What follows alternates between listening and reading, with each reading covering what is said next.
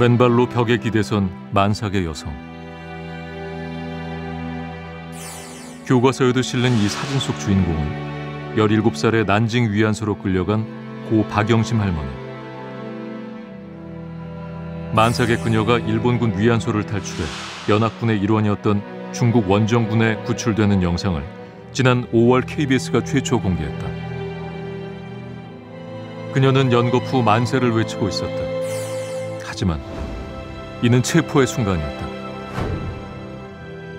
일본군에게서 겨우 벗어난 만석의 위안부는 또다시 연합군의 포로가 되어야 했다.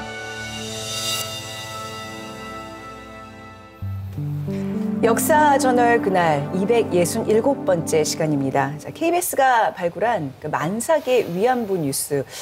아, 다들 보셨나요? 그 지난달 말에 이제 9시 뉴스를 통해서 KBS 특종이 이렇게 보도가 됐는데 네. 어, 다시 보니까 가슴이 그 위안부 하면 가장 먼저 떠오르는 사진이 맨발에 만삭에 고개 숙인 그 사진이잖아요. 근데 그 주인공인 그분의 영상을 발굴했다는 사실에 정말 깜짝 놀랐어요. 영상을 보면서 이렇게 그 할머니들 지금은 할머니가 되신 분들이 너무 막 얼굴도 많이 맞아서 부어 계시고 이래서 아 진짜 너무 마음이 괴롭네요. 이게 미국에 있는 그 국립문서기록관리청이라고 있어요. 이게 NARA라고 이제 줄여서 얘기를 하고 거기에 이제 굉장히 많은 영상이라든지 뭐 자료가 있어요. 심지어 옛날에 뭐 미국 독립선언서라든지 뭐 헌법이라든지 이런 오리지널 문서 이런 것까지 다 관리가 되어 있는 곳이거든요. 그러니까 거기서 이걸 찾아낸 거예요.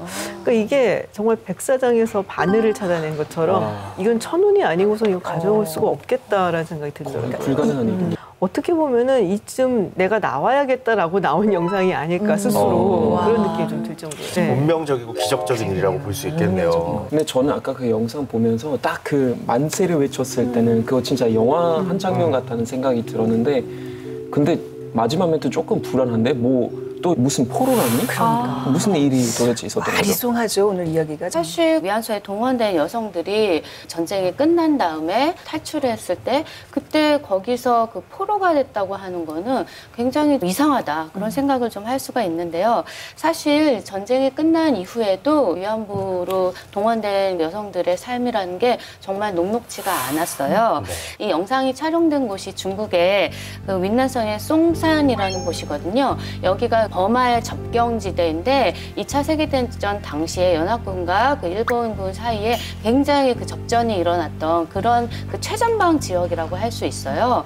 그래서 어떻게 보면 이 여성들이 정말 그 한반도에서 벗어나서 너무나 멀리 가게 되었고 거기서 이 종전을 맞았을 때 이 여성들이 집으로 돌아오기까지의 과정도 너무나 어려웠었다는 것을 우리가 좀 알 수가 있는 거죠. 사실은 이제 우리가 전쟁은 전쟁 이고 일단 정전이 끝나고 난 다음부터는 정치가 시작이 되잖아요. 네. 그래서 우리가 한국 전쟁 시리즈 그 4부작을 하면서도 봤었지만은 마지막에 휴전 협상이 그렇게 지리하게 갈 수밖에 없었던 거는 사실은 포로 문제 때문에 그랬다라고 얘기를 했었죠. 2년 네. 넘게 걸렸잖아요. 네. 예. 근데 이제 포로라는 것이 어떻게 보면은 이게 각국의 이해관계가 다 얽혀져 있기 때문에 어느 상황에서는 항상 문제가 돼요. 근데 정말 안타깝지만 우리 위안부 피해자 같은 경우는 끌려간 피해자임에도 불구하고 사실은 일본군이 관리를 하고 있었기 때문에 일본군에 소속이 되어 있었던 거죠. 아, 그러니까 연합군 측에서 봤을 때는 상대 적국의 포로인 거나 마찬가지가 된 거죠.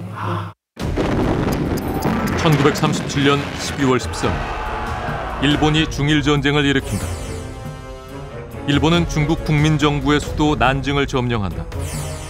일본군은 중국군과 민간인에 대해서 대규모 학살을 감행하고 수만 명의 여성을 강간한다.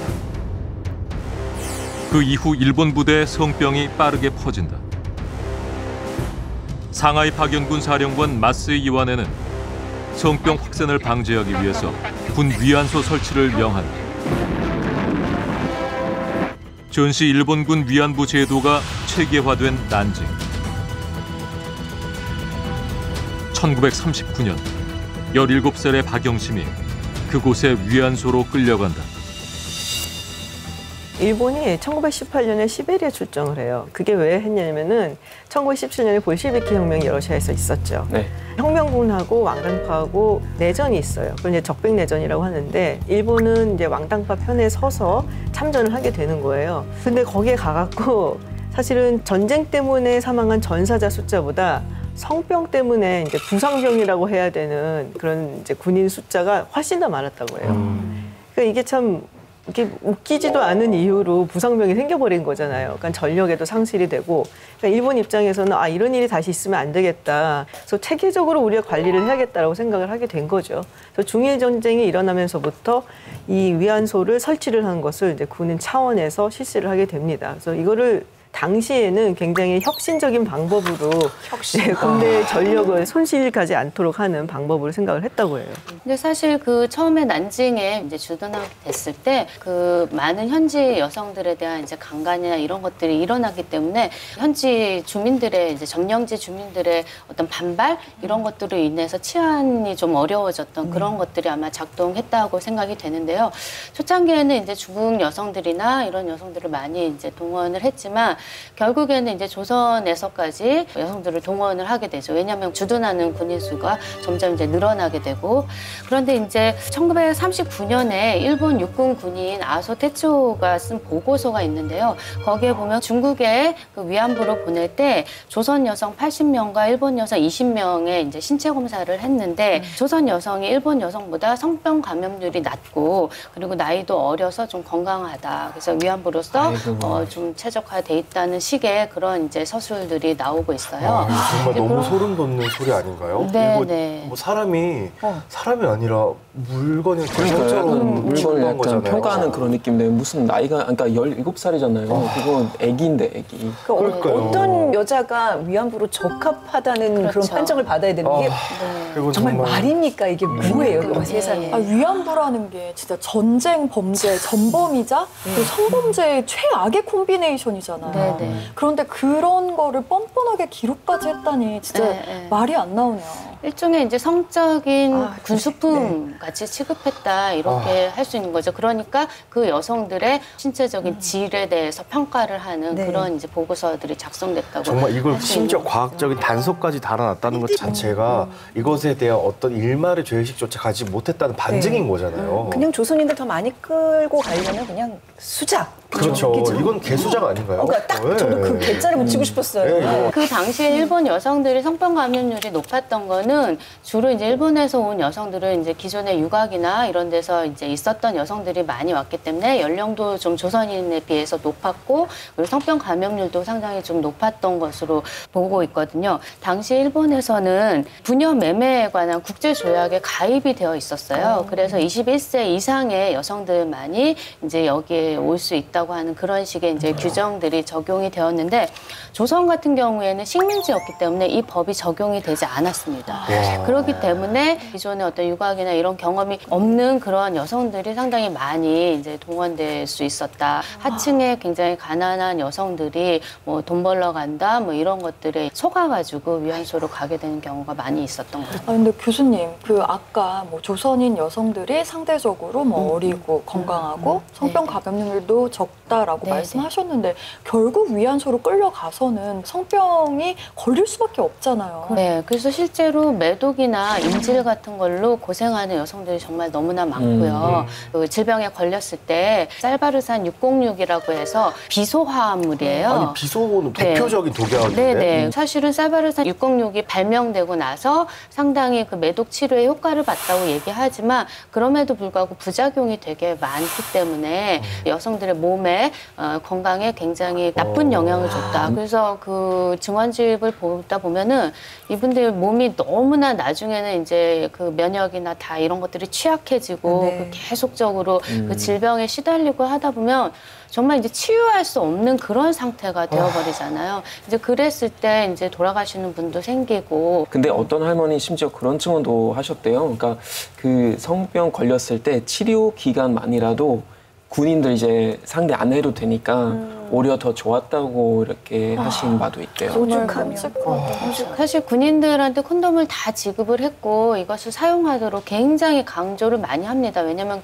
성병 문제가 굉장히 심각했기 때문에 그렇지만 이제 군인들 중에는 거부하는 사람들도 있었고 그것이 잘 지켜졌다고 얘기하기 어려운데요. 그런 과정에서 임신을 하게 되면은 이 여성들의 이제 뭐 자궁을 적출하다든가 아. 낙태를 한다든가 그런 방법을 통해 가지고 어 사실 그 임신 자체를 이제 통제하는 그런 방법들이 쓰이게 되었고 아니 왜 2017년도에 방영됐던 역사 기행 그곳이란 프로그램 거기서 이제 이윤석과 최태성이 상하이에 있는 그 박물관에 가서 그 이제 콘돔 을 이제 봤는데 거기 이제 포장지에 돌격이라고 써 있었다고 합니다. 네. 어떻게 거기다 돌격이라는 단어를 썼는지 그거를 위안부들이 전장에서 썼다는 증언 중에 그것도 있더라고요. 그 콘돔을 재사용하기를 강요해서 예, 그렇게 쓸 수밖에 없었다라고 증언하신 전반적으로 전쟁이 장기화되면서 보급이 어려워지니까 콘돔을 재사용하게 만들거든요. 그래서 할머니들이 그 썼던 콘돔을 빨래터에 가서 다시 이제 빨아가지고 씻어가지고 다시 쓰게 되는 그런 것도 나오는데. 일본군은 그거를 실험까지 해요. 재사용했을 때 얼마나 임신을 방지할 수 있는지를 실험까지 이제 하는 어, 그런 것들이 참 한가해요. 보고서들이 나와. 있어요. 진짜 말이 안 나오네요. 지금 뒷목을 잡게 되네요. 그러니까 저 너무 네. 소름이 돋아가지고 그쵸. 지금 말을 못 있겠어요. 또더 화가 나는 건 이런 성폭력뿐만이 아니라 그 외의 많은 학대들이 또 있었다고 해요. 박영심 할머니의 경우에도 배에 한 20cm 가량의 상처가 있다고 들었거든요. 20cm. 일본인들이 뭐 요구하는 거를 제대로 해주지 않았다고 음. 그렇게 했다고 하시더라고요. 일본의 군대가 너무나 위계가 심하고 군기가 굉장히 센 그런 군대였기 때문에 상급자에 의한 폭행 같은 것들이 굉장히 많이 이루어지고 있었거든요. 근데 가장 하급에 있는 병사들은 위안부 여성들이 자기한테는 제일 밑에 자기 밑에 있는 사람이라고 생각하기 때문에 뭐 여러 가지 폭력들을 행사하면서 자기의 스트레스를 풀어갔던 그러니까 그런 이런- 과정이라고 할 수 있습니다. 少ししかあのなかなか日本の変化はないけれども 이 사진 맞지, 엄마? 예, 이거 맞습니다. 네, 쏘됐어. 맞습니다. 제 엄마. 예, 있습니다. 배째 예, 오나가냐. 나 이거 째수제 피넘어 쏟아서 다 죽었던 건 그러면. 일본 놈들이 칼로 이렇게 쨌나? 예, 단도리 째까 띄고 단도. 어, 단도대. 제 말지 떼는 거. 단도대 기다렸다 소. 이거 저푹 째을 때 이거 기치게 이거 짠 생각하면 사람이 어떻게 사람을 길갈 수가 있어. 얼마나 고통스러웠을까? 어떻게 견디셨을까요? 견디기 힘들어서 아평 같은 마약에 의존했다는 경우도 굉장히 많이 나오고 있어요. 박영심 할머니가 직접 증언하셨잖아요. 네, 아편 네. 없이는 잠을 이룰 수 없었다고. 그래서 특히 이제 난징에서는 뭐 일본 군도 그리고 위안부도 이렇게 아편을 흡입을 했다 뭐 이런 얘기가 남아 있고 그러니까 몸이 너무 아프니까 어떻게 좀 해달라 그래서 근데 아편을 맞고 나면은 이제 몸이 조금 괜찮다고 느껴지는 거예요. 더 세게 맞고 더 세게 맞고 이런 이야기들 이제 기록들이 다 있고요. 그러니까 몸이 아프면 치료를 해줘야 되는데 치료가 아니라 마약을 줘서, 마약을 줘서. 예, 그 고통을 그렇죠. 이- 잠시 잊게 만들고 그러면서 계속 그 위안부들을 계속 그 착취해 온 거잖아요. 성 착취를 한 거잖아요. 이게 근데 그게 이제 일본의 어떤 당국의 정책이었다는 얘기가 있어요. 이렇게 이제 주장을 학자분도 계신데 네. 마약을 공급을 하고 그리고 그 마약을 이제 비밀리에 팔아서 그걸 이제 아. 군자금으로 쓰기도 했다. 뭐 이런 이야기까지 사실은 있거든요. 아, 그 생지옥 같은 곳으로 박영심 할머니는 어떻게 끌려가시게 된 거예요? 네. 박영수 할머니는 원래 평안남도 남포 출신입니다. 아주. 가난한 소장농의 딸이었었는데요. 그 일본 군에서 후방에서 이제 일할 잡부를 모집한다고 하는 그런 얘기를 듣고 이제 따라 나서게 됐다가 난징까지 가게 된 거죠. 그래서 지금 그 위안소 기념관이 만들어져 있는데요. 그 리지샹 아, 위안소라고 하는 그 위안소의 2층에 19방에 계셨다고 해요. 그래서 거기에 3년 동안 머물 렀다고 합니다. 이곳에서 지내시면서 우타마루라고 일본명으로 개명을 했어야 됐고 나중에는 와카하루라고 불렸다고 하는데요. 네. 그렇게 일본 이름으로 바꾸게 되고 옷도 기모노를 입게 하면서 마치 일본 여성처럼 생활하게 만들죠. 기모노는 왜 입히는 거예요, 도대체? 어, 사실 일본 군인들이 그 자기 고향으로 돌아가고 싶은 그 향수병이 상당히 만연해 있었다 그래요. 그래서 신경정신의학 쪽에 그 군의관이 남겨놓은 기록들을 보면은 향수병에 대한 얘기들이 되게 많이 나오고 있거든요. 그러니까 여성들의 그 명칭이 위안부라고 불렸던 것도 그 위안한다고 하는 것이 어, 여러 가지가 있지만 또그 전장에 나와 있으면서 외롭고 고통스러운 생활을 견뎌야 되는 군인들의 그런 향수병 같은 것들을 치유한다고 하는 그런 의미도 내포하고 있는 거죠. 물론 가해자의 시선이긴 하지만 이게 그러면 예. 음. 완전 박영심 할머니는 이름도 잃고 조국도 잃고 조국에서 입고 있던 복식도 잃은 채 그렇죠. 그렇게 정말 네. 물질처럼 살아가신 네. 거네요. 그들의 대상이 되어서. 네네. 그러니까 겉으로 보면은 그냥 일본 여성인 거죠. 그러니까 포로로 잡혔을 때도 이 사람이 자기가 조선 여성이라고 말하기 전까지는 연합군의 입장에서는 일본 여성이구나, 적국의 여성이구나라고 판단할 수밖에 없는 그런 상황이 되었던 거죠. 사실 뭐 일본 군이라든지 그리고 위안소를 이렇게 경영하는 사업자들 이 사람들이 이름을 부르는 경우보다는 사실 숫자로 부르는 경우가 많다 그러죠. 뭐 1호, 2호, 3호 이런 식으로. 아니 무슨 군수품에 견출지로 이, 이렇게 붙여놓듯이 이거는 사람을 사람으로 대한 게 아니라 그야말로 물자처럼 돼 있고 그러니까 인간의 개성이나 인간성을 말살하는 거잖아요. 이름을 없애버리고 번호로 사람을 부른다는 거는. 그럼 이런 악행들을 저지르는 사람들의 죄책감을 덜어주기 위한 수단일 수도 있었겠네요. 그들의 인격이라는 어떤 생각을 지우게 만들고 하나의 대상화시키고 같은 복장으로 통일시키고 그런 과정을 통해서 그들의 죄책감을 덜고 그들이 여러 가지 폭력을 자행하는데 도움을 주는 방편 중 하나였다는 생각이 지금 드네요. 네, 네. 박임수 할머니 난징에서 3년을 지난 후에 42년에 고향에서부터 더 멀어진 그런 곳으로 가게 됩니다. 왜냐면은 그 일본군이 동남아시아까지 전쟁이 굉장히 넓게 어, 펼쳐졌기 때문에 그 속에서 많은 위안부로 동원된 여성들이 동남아시아까지 이제 가게 되는 것이죠. 일본은 1941년 말 태평양 전쟁을 시작하고요. 동시에 서구의 식민지로 지내고 있었던 아시아 국가들도 이제 공격을 하기 시작하는데요. 혹시 들어보셨죠? 대동아 공영권. 그래서 이 서구의 침략을 받는 이 아시아들이 일본을 중심으로 잘 살아보세요라는 것이 바로 이런 명분하에 이 아시아 국가들을 침략을 했던 것이죠. 이 지도를 보시면요, 이제 필리핀, 싱가포르, 그리고 네덜란드령 동인도까지 계속해서 침략을 하게 되고요. 그 중에서 가장 중요했던 목표가 바로 버마였습니다. 버마. 당시 버마는요, 연합군의 굉장히 중요한 보급로 중에 하나였던 것이죠. 자, 여러분들 이 보급이라는 게 전쟁에서 얼마나 중요한지 혹시 아시죠? 네. 알죠. 이수신 배웠습니다. 장군이 임진왜란에서 왜 1등 공신이게요? 해전을 통해서 이 일본군의 해상 보급로를 다 막아버린 거죠. 자, 일본은 아직 중일 전쟁도 제대로 끝내지 않은 상황에서 이제 아시아 국가들까지 전선이 길어지면서 어, 이 연합군을 아시아에서 밀어내는 것뿐만 아니라 이 중일 전쟁을 빨리 끝내는 것이 굉장히 절실한 상황이었던 것입니다. 자, 그런데 이 생각보다 이 장제수의 국민당군이요. 일본 군의 공격을 잘 버티고 있는 거예요.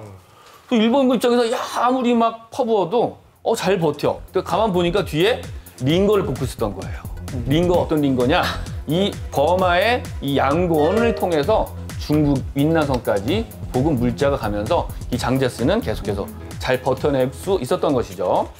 자, 그래서 이 버마 road는요, 장제스를 원조한다는 의미에서 원장 road, 도울원 장제스 장. 그래서 원장 로드로 불릴 정도로 당시 굉장히 중요한 보급로 역할을 했던 것입니다. 이를 목표로 1942년 1월 20일 밤에 일본군은 태국에서 국경을 넘어서 버마의 주요 도시들을 공격을 하기 시작을 합니다. 그래서 3월 8일에는 이 란군을 점령하게 되고요. 3월 중순에는 이 버마 남부 지역의 대부분을 장악을 하게 돼요. 그리고 5월 8일에는 미치나 지역까지 장악을 하게 됩니다. 그래서 연합군 입장에서는 이제 미치는 거죠. 자, 결국 연합군은 와해되면서 인도 그리고 중국의 남부까지 후퇴를 하게 됩니다. 일본군은 계속해서 중국의 서남부로 공격을 하게 되고요. 그렇게 해서 윈난성, 운남성이죠 우리말로는 거기에 텅춘과 숭산 일대까지 점령을 하게 되고 결국 중국군을 고립시키는데 성공을 하게 됩니다. 그런데 1942년 6월 5일 태평양에서 미드웨이 해전이 벌어져요. 여기서 일본군이 참패를 하게 됩니다. 그래서 병력은 3,500명, 항공모함 4대, 그, 그 위에 있던 비행기 300대를 잃게 되는 것이죠. 그러니까 일본군 입장에서는 이제는 재해권을 빼앗기게 됩니다. 근데 이 버마에 있었던 이 일본군 입장에서는 이제 해상 보급로가 막혀버리는 이런 위기에 처하게 되는 것이죠. 이제는 해상 보급로가 아닌 육로, 육상 보급로를 뚫을 수밖에 없는 상황이 되겠죠. 그것이 바로 철도였던 것입니다. 자, 그래서 1942년 이제 9월에는요, 태국의 방콕에서 출발해서 양곤까지 가는, 당시 랑군까지 이어지는 이 철도 공사에 착수를 하게 됩니다. 자, 그런데 이 지역이요, 굉장히 험준한 지역이에요, 사실은. 뭐 동남아시아 하면 이미지가 그냥 바닷가, 뭐 섬 이런 것만 생각하는데 절대 그렇지 않습니다.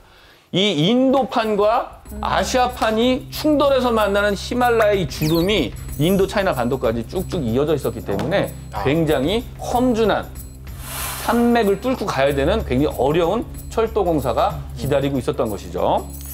자, 그러니까 이런 어려운 지역에서 자기들이 했겠어요? 포로를 이용합니다. 포로. 그래서 6만 명의 포로가 아시아의 노동자, 20만 명의 노동자들이 영문도 모른 채 철도 공사에 끌려와서 아주 어려운 환경 속에서 일을 하게 됐던 것입니다. 자, 그런데 이제 급하잖아요. 빨리빨리 보급을 해야 되기 때문에 험준한 산맥 지역에서 어려운 공사를 하는데 무리하게 속도전을 강행을 했던 것입니다. 그러니까 사망자가 엄청나게 나왔다고 해요. 그래서 이 철도의 별칭이 바로 죽음의 철도가 되겠습니다. 그래서 그 구간 중에서도 이제 유명한 지역이 바로 뭐 이 근처에 있는 바로 영화로도 만들어졌죠. 콰이강의 다리예요. 그래서 이 영화에서는 콰이강의 다리에 보면 영국 공병대가 네. 어, 그 다리를 건설하게 되죠. 근데 그때 이 배우들을 보면 아 건장해요, 막 공사하고. 막. 근데 실제 당시 사진을 보면요 뼈만 남아요. 처참한 상황에서 이 어려운 철도 공사에 투입이 됐다고 합니다. 보급을 둘러싼 제2차 세계대전의 비화는 잠시 후에 계속됩니다.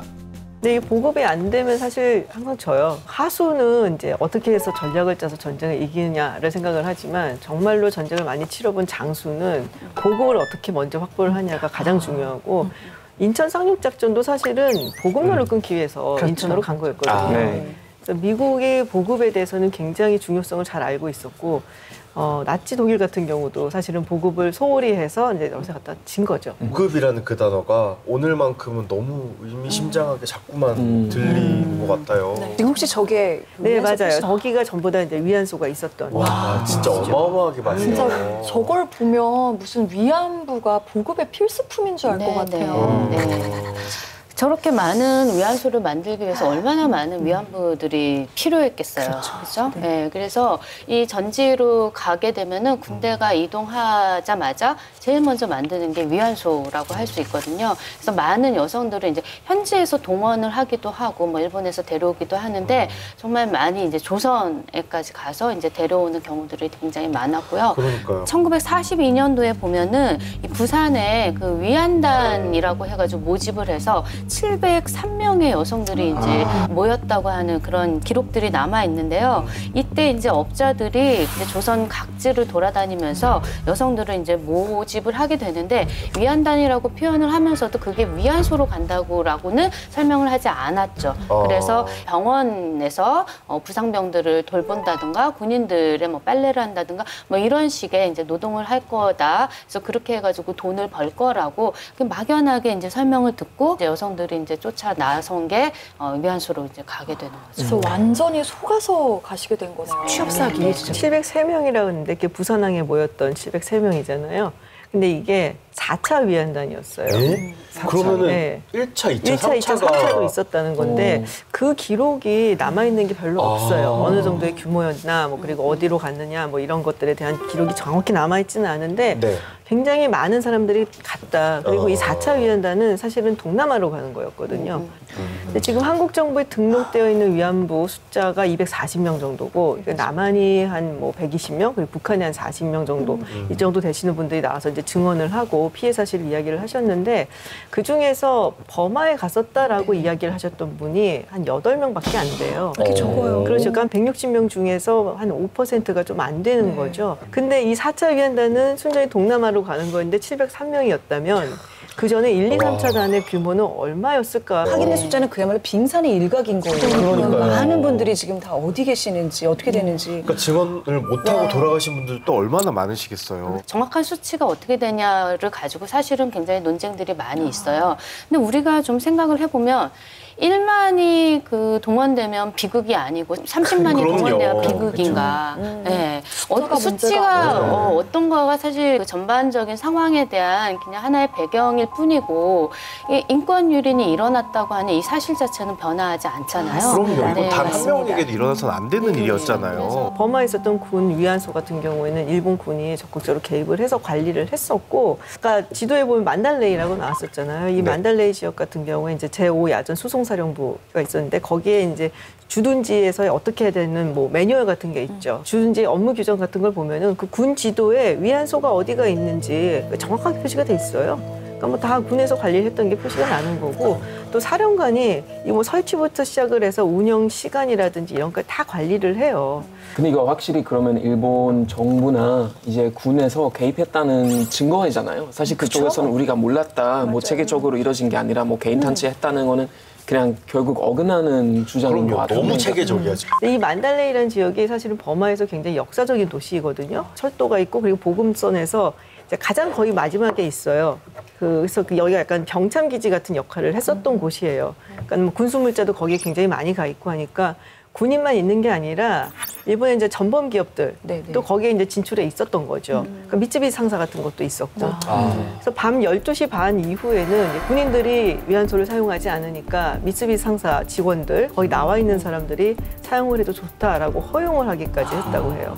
진짜 밤낮이 없이 고통을 받으셨을 것 같아요. 어, 정말 끔찍하다고밖에 표현 못해요.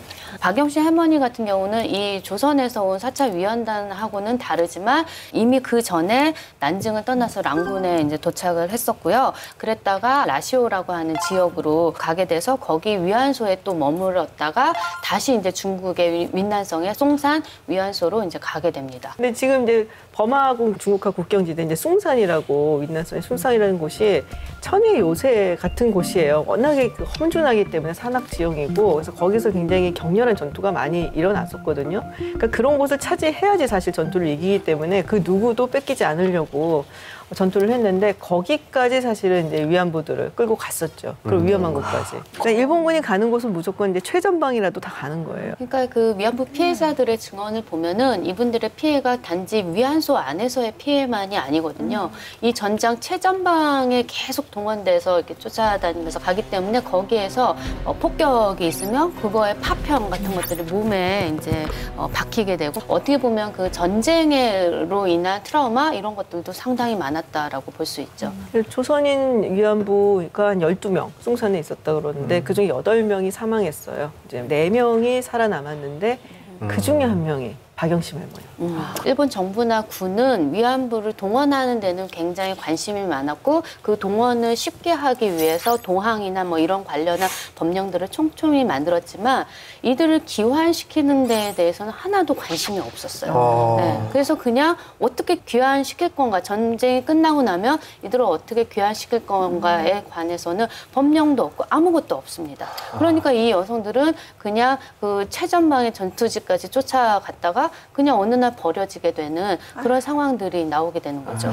그야말로 진짜 방치네요. 아니요. 네. 그리고 이거는 아예 돌려보낼 생각이 없었던 맞아요. 것 같아요. 네. 계획도 없고요. 아니 지금 옥새하라 그러는 거잖아요. 천연의에서 아. 옥처럼 아름답게 부서져라. 그냥 자살을 강요하고 있는 지금 네. 상황이에요. 네. 그래서 사실 얼마나 많이 돌아가셨는지도 우리가 네. 추산을 할 수가 없지만 꽤 많은 그런 증언이나 이런 데서 일본의 패전 이후에 어, 군인들이 위안부들을 이제 많이 이제 살해를 했을 것이라고 하는 추정들이 굉장히 많이 나오고 있어요. 그래서 예를 들면 그 윈난송 라모 전선에 참전했던 사토미라고 하는 군인이 남긴 그 회고록에 보면은 하사관이 그 위안부를 죽이라고 수은을 줬다고 하는 그런 이제 기록들도 나오고 있으니까요.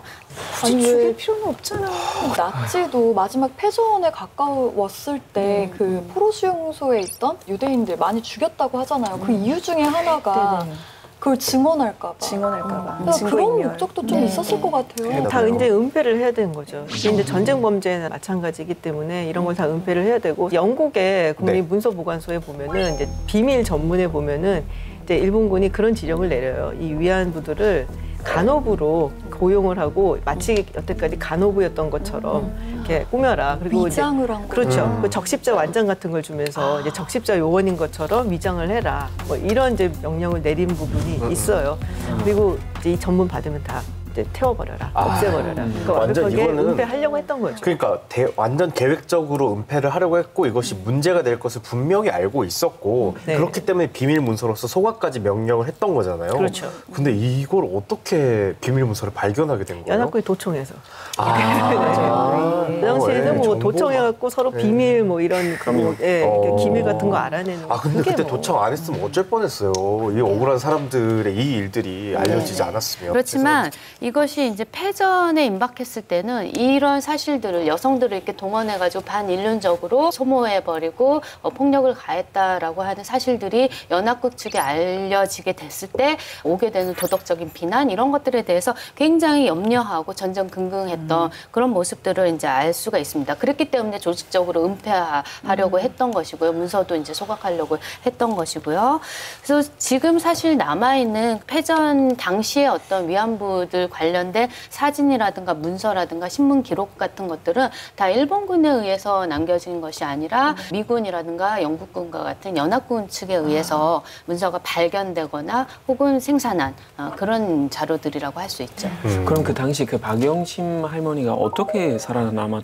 이분이 그 위안소에 있는데 어느 날 일본군들이 그 일본 군기를 태우고 있더랍니다. 그래서 네. 그거를 보니까 아 쟤네가 왜 저러지? 아 전쟁 이 이제 끝나가고 쟤네들이 폐색이 짙어가는구나라는 것을 이제 깨닫고. 상당히 좀 영리하셨던 것 같아요. 그래서 그 틈을 이제 틈 타서 어, 같이 위안소에 있었던 여성들과 함께 탈출을 하셨다 그래요. 아 너무 네, 다행이시다. 상당히 그 용기 있는 네, 행동이었죠. 그 당시에 위안소에서 탈출하다가 만약에 잡히게 되면 굉장히 가혹한 그런 폭력들을 이제 당하기도 하고 때로는 그러다가 이제 죽기도 하는 아이고, 그런 네네. 일들이 비일비재했었기 때문에 굉장히 용감한 행동이었다고 생각되는데요. 그렇게 탈출을 해가지고 이제 무작정 달리다가 이제 만난 게 이제 연합군 쪽이었던 것이죠. 아, 네. 죽기 살기로 그냥 맨발로 저 차림으로 뛴 거예요. 그니까요. 네, 네. 그야말로 목숨을 걸고 뛰신 거죠. 네, 근데 네. 우리가 사실 탈출하면은 이제 영화 같은 상황만 생각을 하잖아요. 막, 막 그냥 BGM도 깔리고 막, 막 달려가는데 연합군 만나 그러는데 실제 상황이라고 생각을 해보면 거기서 탈출을 생각했다는 것 자체가 굉장히 놀라운 네, 거예요. 네.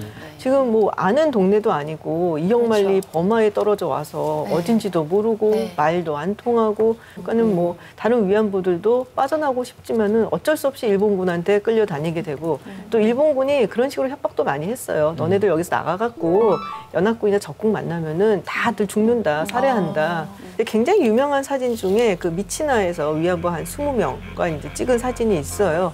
그것도 사실 마찬가지로 우리가 이해를 해볼 수가 있어요. 그래도 일본군이랑 같이 있어야지 생명이라도 부지하겠구나라고 버티고 있었던 거죠. 이제 연합군한테 잡히면 너희들 죽는다라고 세뇌를 받았기 때문에 저런 표정을 지금 지으신 거예요. 네, 나 그렇죠. 어떻게 해야 되지 이제? 그러니까 저는 이 아. 설명을 듣고 나니까 이제 와서 왜 처음에 어, 연합군을 만났을 때 어리둥절한 표정 그리고 두려운 표정을 지으셨는지 알 것 같아요. 근데 나는 그러다가 어떻게 되지? 이런 네, 생각이잖아요. 그렇죠. 그러다가 아 내가 죽임을 당하지 않을 수도 있겠구나라는 걸 아- 알고서 이렇게 만세를 음. 외친 거잖아요.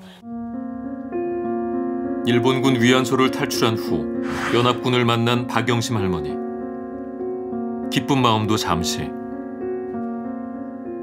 그녀는 연합군에 의해 중국 쿤밍으로 이송된다. 일본인 조선인 전쟁 포로가 수용돼 있는 쿤밍 포로 수용소. 수감자 명단에서 박영심이라는 이름이 보인다. 전쟁 포로가 된 것이다.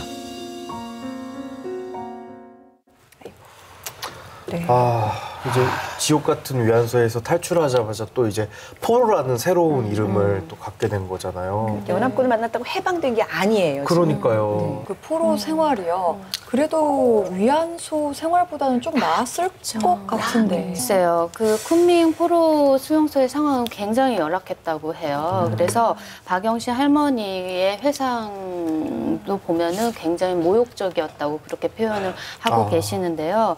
당시 포로 수용소를 방문 했던 그 연합국 측의 전시 정보국 요원 코지 아리요시라고 하는 사람이 뭐라고 했냐면 20명의 여성들이 중국군의 조롱을 받으면서 꾀지지한 몰골로 있는 것을 봤고 이 여성들이 자신에게 몸을 누일 볏짚 하고 씻을 물 그리고 치료를 요청했다고 해요. 근데 우리 아까 그 사진에서도 봤다시피 박영심 할머니는 만삭이셨어요. 네. 그러면 그 아이는 어떻게 출산이 너무나 열악한 상황에서 결국에는 수용소에서 사산을 하고 맙니다. 아, 결국 그렇게 됐구나. 그러니까 물도 뭣도 구할 수 없는 상황에서 이런 또 비극이 그러셨구나. 발생하게 네, 네. 됐네요. 또 생명을 품고 있다가 사산됐을 때 그 고통은 엄청나게 컸을 거예요. 그리고 뭐 랑군에 또 110이라는 또 다른 또 포로 수용소가 있는데 어, 거기 이제 주로 전범 용의자들 그때 가둬놨었고, 그래서 1945년 7월부터 46년 4월까지 약 38명의 위안부들이 거기를 이제 거쳐갔다라고 네. 하는데 그 중에 36명이 중국인, 그리고 두 명이 조선인. 중국인들은 풀려났어요. 바로요? 풀렸다고요? 바로 풀려났어요. 근데 약간 우리가 이전에 배운 바에 따르면은 포로 문제는 여러 가지 이해관계 때문에 상당히 뭐 지연되거나 복잡한 경우가 많은데 왜 이렇게 빨리 풀려난 건가요? 근데 이 중국인 같은 경우에는 이제 연합군의 시민이잖아요. 네네. 그러니까 포로가 될 수가 없는 거죠. 아. 근데 한국 같은 경우에는 일본의 식민지였기 때문에 사실은 포로로 남아 있었던 그리고 거예요. 너무 아이러니네요. 어쨌든 그러니까. 전범국의 피해 국가의 사람들인데도 불구하고 전범국의 일부로 지금 분류가 그렇죠. 된 거잖아요. 너무 아이러니하면서도 억울한 상황인 것 같아요.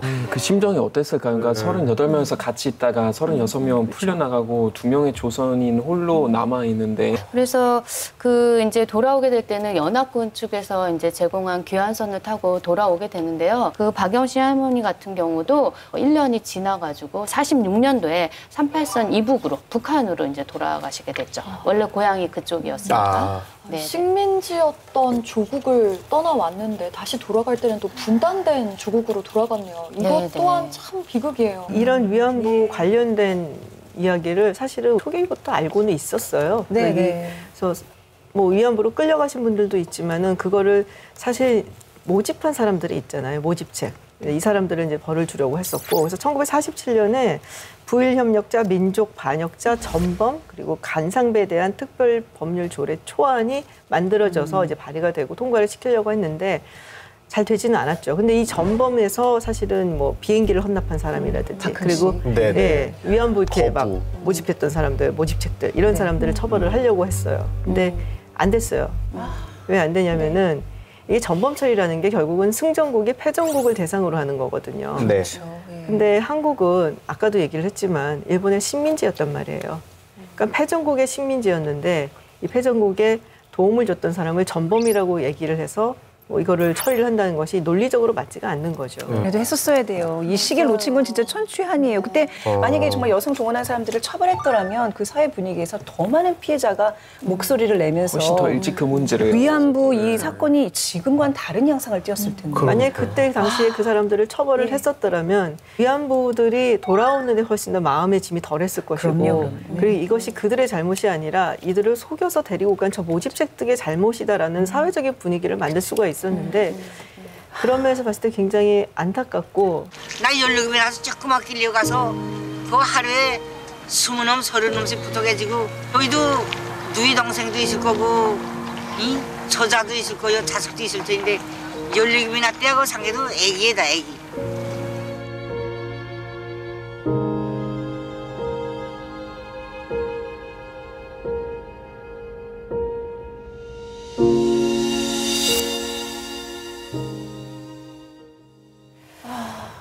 저 영상이 있구나. 저게 이제 98년도에 일본 저널리스트 이토 타카시가 북한에 가서 박영심 할머니를 직접 뵙고 만났던 장면입니다. 아, 진짜 그 일본인들이 그들도 누이가 있고 어머니가 있고 여자 형제들이 있을 텐데 자기한테 그랬다는 게 아, 너무 가슴 아픈 현실이라고 생각이 되는데요.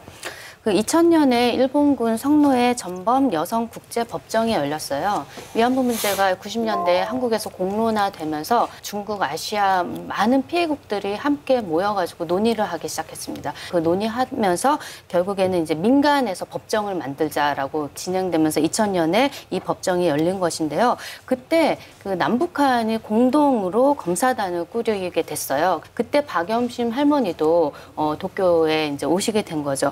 그런데 너무나 안타까운 것은 그 법정이 이제 열리기 전에 이 할머니가 머물렀던 숙소에 기모노가 걸려 있는 것을 보고 이 할머니가 충격을 받아가지고 얼마나 그때까지. 예, 트라우마들이 다 이제 상기가 되면서 너무 고통스러우셨나 봐요. 그래서 결국에는 재판정을 못 가게 됩니다. 네. 그래서 재판에서의 그 할머니의 증언은 그 화상으로 이전에 찍어놨던 것으로 대체했다고 해요.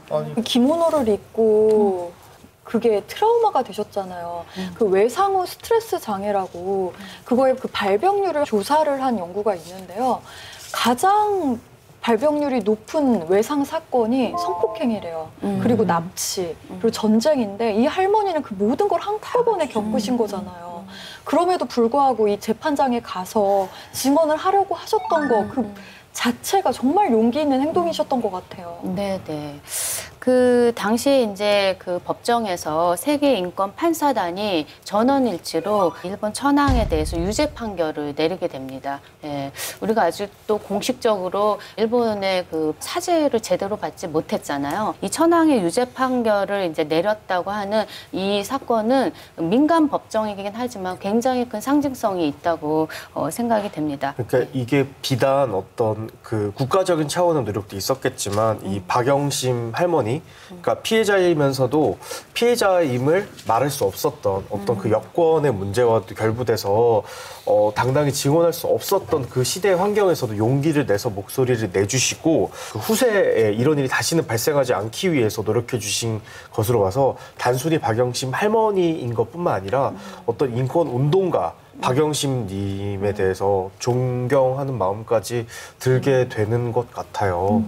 어, 지금까지 일본 법정에서 그나마 일본군 위안부 피해자에 대해서 인정한 재판이 1992년 12월에 시모노세키 재판이에요. 이를 소재로 한 영화 허스토리에서는 네네. 그 주인공 할머니께서 이렇게 말씀을 하세요. 너네들 내가 살아있는 게 무섭지? 라고 말씀을 하시거든요. 그만큼 어떻게 보면 이 할머니들의 증언 하나하나가 그 위안부 피해 사실을 밝힐 수 있는데 큰 증거가 되고 어, 또 실제로 어, 김복동 할머니께서 지금은 돌아가셨지만 그 오사카 시장이 한번 망언을 했어요. 国家の意思として組織的に女性を拉致した人身売買したというそういう事実はないというのが国家の意思としての拉致国家の意思としての人身売買を裏付ける証拠はなかったという日本系日本政府の見解が出ております 시장이 모여놓는다고 증거가 없다. 본인이 증거가 살아있는데 증거, 증거가 없다고 해서 말이 됩니까? 안 됩니다. 그러니까 꼭 누가 오늘 만나고 가야 되겠다. ですから今日どうしても会って帰らなくちゃいけないんです。 지금 현재 어, 정부에 등록되어 있는 위안부 할머니 피해자들이 총 240명인데 지금 현재 살아계신 분이 17명밖에 없대요. 아이고. 네, 네. 박음심 할머니도 안타깝지만 2006년도에 돌아가셨거든요. 아. 네. 지금 일본에서는 사과 그만큼 했으면 됐지 왜 또 해야 되냐, 뭐 필요하다, 뭐 이런 얘기들이 나오고 있기 때문에 정말로 진심으로 사과한 것일까 하는 의문들을 계속해서 가질 수밖에 없는 것 같아요. 아니 사과는 원래 사과를 받는 사람이 인정해 줄 때까지 하는 게 사과인 거잖아요. 네네. 근데 이런 말을 한다는 것 자체가 너무나도 적방한 하장이고 피해자들을 두 번 피해를 2차 가해를 한 행위라고도 볼 수 있는 거죠, 지금. 그 처음 피해를 증언하셨던 그 김학순 할머니께서 이런 말을 하셨습니다. 우리가 강요에 못 이겨서 했던 그 일을 역사에 남겨둬야 한다. 그러니까 우리 할머님들은 뭐 사과 배상 이것도 너무 중요하지만 그거보다 더 한 단계 나가서 정말 제대로 된 역사 교육, 그렇죠?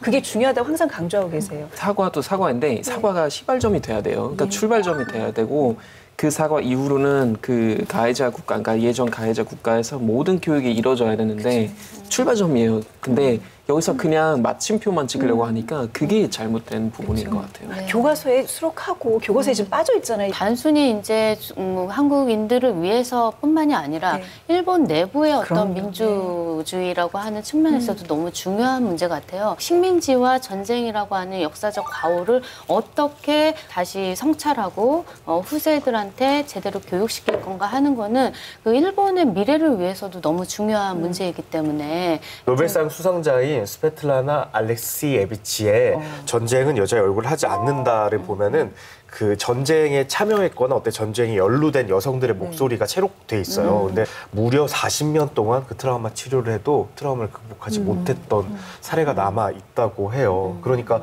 이 전쟁이 한 인간 그리고 특히 이제 약자인 여성에게 어떤 얼마나 큰 상처를 가하고 그것들이 얼마나 길게 지속되고 있고 그것이 지금 현재 진행 형으로 그분들에게 어떠, 어떠한 영향을 끼치고 있는지에 대해서 분명히 성찰을 해야 되고 오늘 방송이 그런 이 모든 일화들을 다 기록하고 후대에 남기는 그런 계기가 되었으면 좋겠습니다. 그리고 저는 개인적으로 이 역사저널 그날을 이제 출연하고 이야기를 나눴을 때 보통 우리가 큰 사건을 가지고 이야기를 했거든요.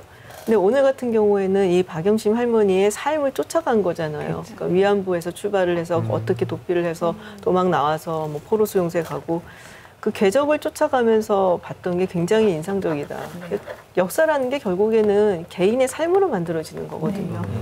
그래서 다시 한번 참 우리가 거대한 역사의 물결 속에서 개인이 그러니까요. 얼마나 큰 영향을 받고 그리고, 그리고 살아남기 위해서는 얼마나 우리가 노력을 하고 애써왔는지를 볼 수 있어서 참 인상적이었어요. 그리고- KBS가 이 영상을 사실 발굴을 해서 뭐 어떻게 보면은 뭐 공적인 언론으로서의 역할을 한 거잖아요. 네. 뭐 엠바고를 뭐 길게 가져가지도 않았고 그래서 뭐 다들 공유를 해라라고 이거는 많이 알려져야 된다 이런 태도는 어, 언론으로서 참 칭찬받을 만한 것 같기도 하고요. 아니 대표하시는- 올해가 네. 이제 한국 전쟁 70주년이잖아요. 그래서 이제 그 특집 관련 프로그램을 만들다가 그 아까 말씀하신 미 국립문서기록관리청에서 이 관련 영상을 진짜 어렵게 발굴한 겁니다. 근데 이게 또 역사 또 사료로서의 가치도 있고 또 어찌 보면 일본의 이 반인륜 행위를 좀 더 널리 빨리 공유하자는 차원에서 그 제작진이 이렇게 공개를 했습니다. 역사학자들이 감사패를 드려야 될 것 같아요. 제가 이런 방송국에서 역사 프로 그램을 7년째 진행을 하고 있습니다. 그러니까요. 잘하게 자부심이 느껴집니다. 예. 역사는 KBS. 아, 역사는 KBS. 아니, 이번에 네. KBS에서 그 발굴한 그 영상을 못 보신 분들을 위해서 어, 그풀 영상 원본을 지금 좀 함께 공유하도록 하겠습니다. 보실까요? 54초 가량의 원본입니다.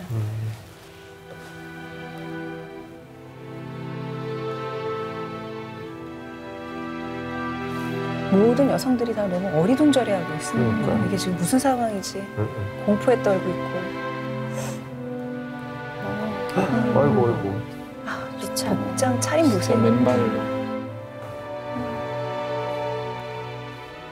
어떻게?